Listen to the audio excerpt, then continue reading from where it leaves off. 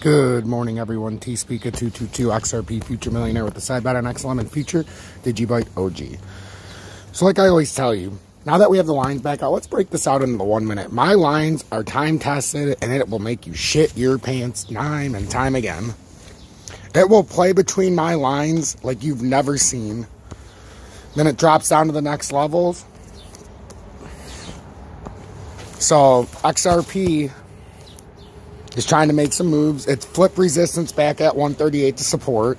Now it's actively trying to flip 144 back to support. If we do that, we turn back into that bullish trend. If we can be over the 144 line, we're bullish.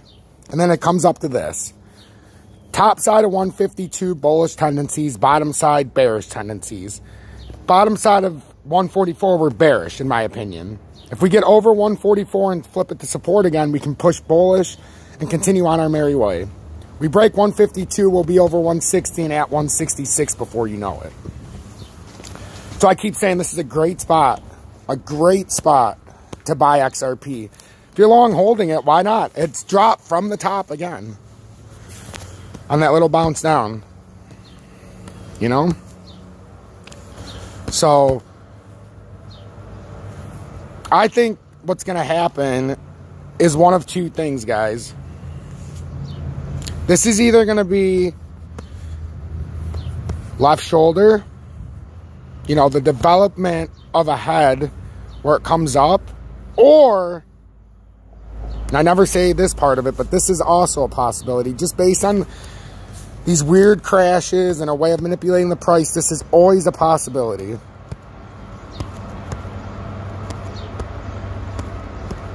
Let me get this stuff out of the way. Let's let's look at this objectively. What if what if 198 is the top? What if this is actually the head and then it comes up like this?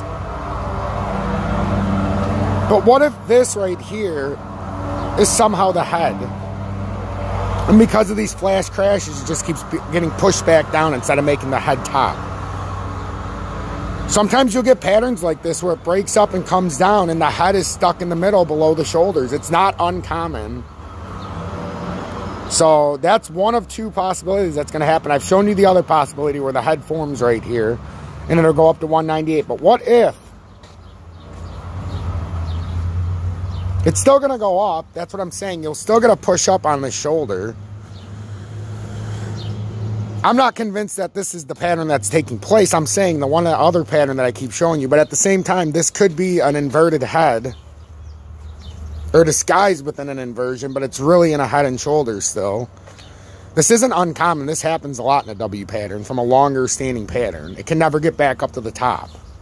So the head looks inverted on the inside. Even though it's an upright head, it comes down inverted on the shoulders and then when the right shoulder finishes, it comes crashing down just like the other patterns. It's a possibility. You know? Uh, where are we at? XLM. Again, the levels that I use, guys, there's no...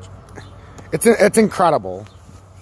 It bounced over 158, used it as support, and went right to 74 cents. There's nothing in between.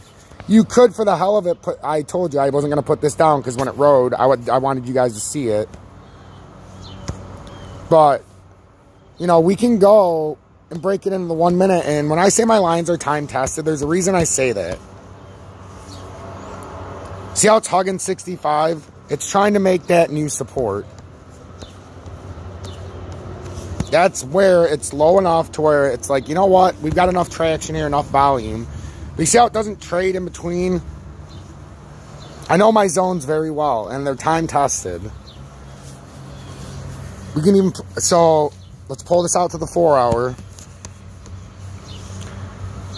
It's very possible that created the, the head on XLM, and then we're looking for the come down like we just had, and then a pullback, you know, to create the shoulder.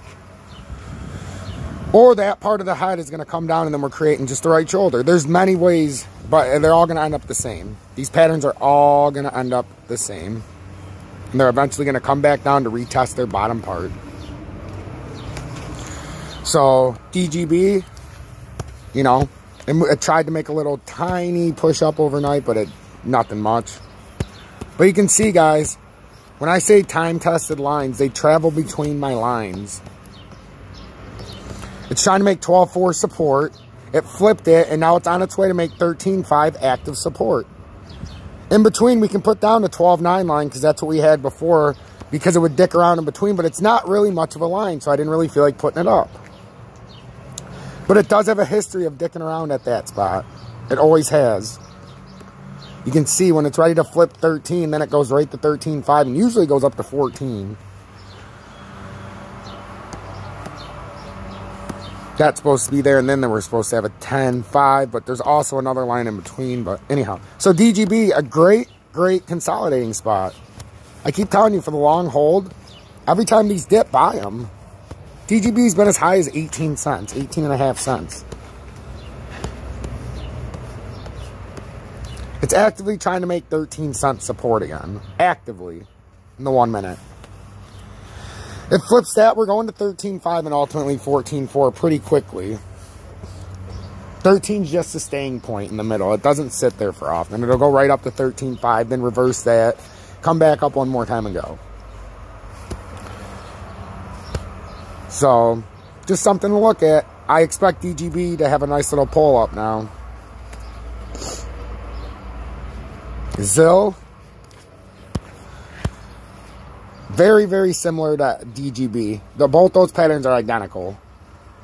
Identical. I mean, you could look back at this now and do this logically, and you'll see why. Oh, that's not right. You'll see why with ZIL, if we would have measured it accurately, it barely came outside of that. It didn't even, for the for all technical purposes, it's still trading between the wedge. So you should expect a top side breakout at some point. Ether, I'm starting to gain some stuff back, but I'm not convinced that that's a head. But if that's the shoulder, it's going to come down like this.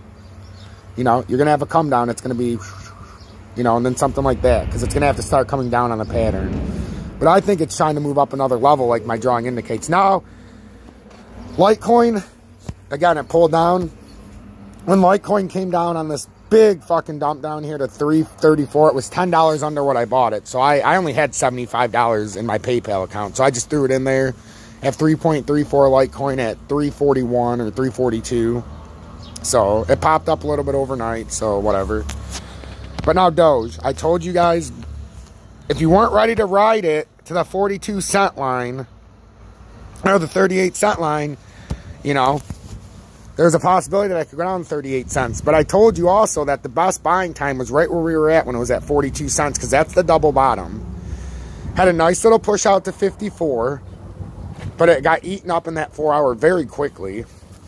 It started out bullish, but it's still showing bearish tendencies. It went back from having an extreme spike in volume, but it showed bullish tendencies by bouncing off the double bottom like I predicted.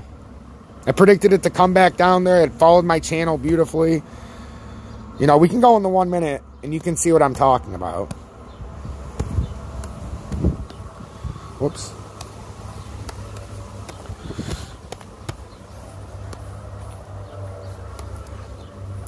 It traded within that zone the entire time until it bounced out of the wedge. And I made those predictions a long time, you know, it was a long ways back in the pattern. So, you question the lines and the time tested nature of them, I'm not a financial advisor, guys, so should you take my advice? No. But if you see something on the charts and it resonates with you, or you're like, you know what? That's exactly what's happening. Well, then you got to make an informed decision. But like I always tell you guys, the only position that I'm truly good at is the long position. The only position that wins time and time again is the long position. So anything else is just me trying to show you intraday trading. But at the end of the day, it's to be built on a long position. So, what you can expect from Doge, if this is a true confirmation of the double bottom, you know, if this actually doubled off, you can expect a nice push up. How high it goes, nobody knows. But what you also need to be aware of, like I said last night, is that the possibility that it's going to double bottom 38 cents that was from earlier in the pattern.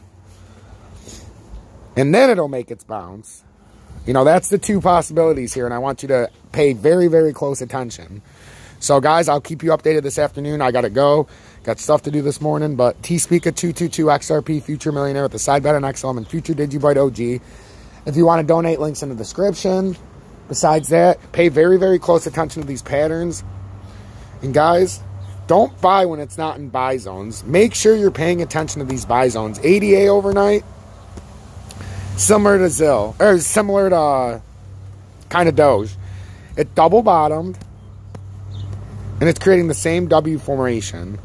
So we'll see with ADA, but I was telling you to buy at 158. This is technically still, this is kind of out of support now, but it's still in that support range, but it's so high now. We're at the top of the pattern. This is kind of like buying on the head and hoping and praying that it goes up. You kind of missed that opportunity with ADA at $1.57.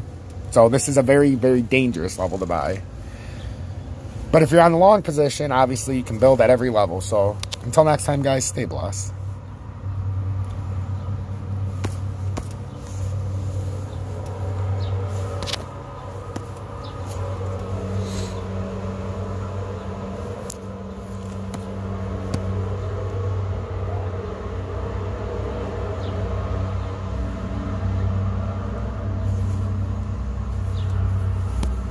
Good evening, everyone. T-Speak at 222 XRP.